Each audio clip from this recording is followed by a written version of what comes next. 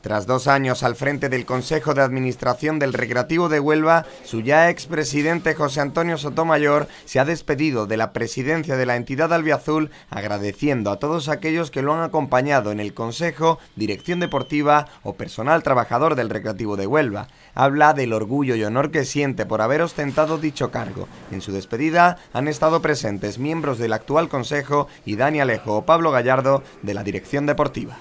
Ha sido un verdadero honor ser eh, miembro del Consejo de Administración, presidente en mi caso, estos, estos dos años. Asegurar que si hay un secreto deportivo de los ascensos, ha sido la perfecta comunión entre todos, empezando por el director deportivo y terminando por el último jugador. La dimisión de Sotomayor facilitará ahora la transición para la llegada de un nuevo Consejo de Administración una vez mañana sábado Pilar Miranda tome posesión como nueva alcaldesa de la ciudad de Huelva.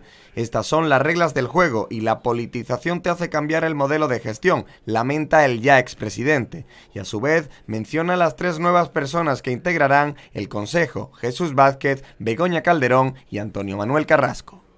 Y gracias al ayuntamiento, al ayuntamiento esté quien esté, el recreativo hoy está vivo y estamos en primera. Hasta ahora, pues gracias por supuesto a Gabriel Curu, que confió en nosotros y, y ahora Pilar confiará en los que ella ponga.